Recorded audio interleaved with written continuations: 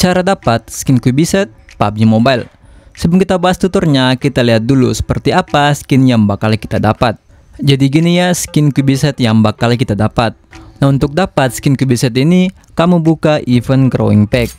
Di sebelah kiri ini, kamu akan melihat ada beberapa misi yang harus diselesaikan. Kamu harus selesaikan semuanya kecuali misi yang login selama total 5 hari. Kalau udah, kamu tekan tombol kumpulkan semuanya. Dan di sini kamu akan dapat growing point. Nantinya growing point ini kita gunakan untuk meredam item yang paling kanan ini yang tulisannya total nilai 2100 UC.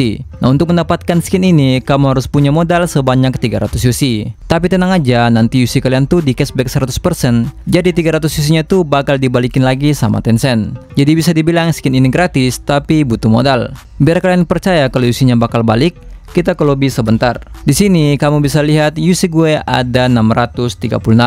Terus kita balik lagi ke event Grow Impact yang tadi.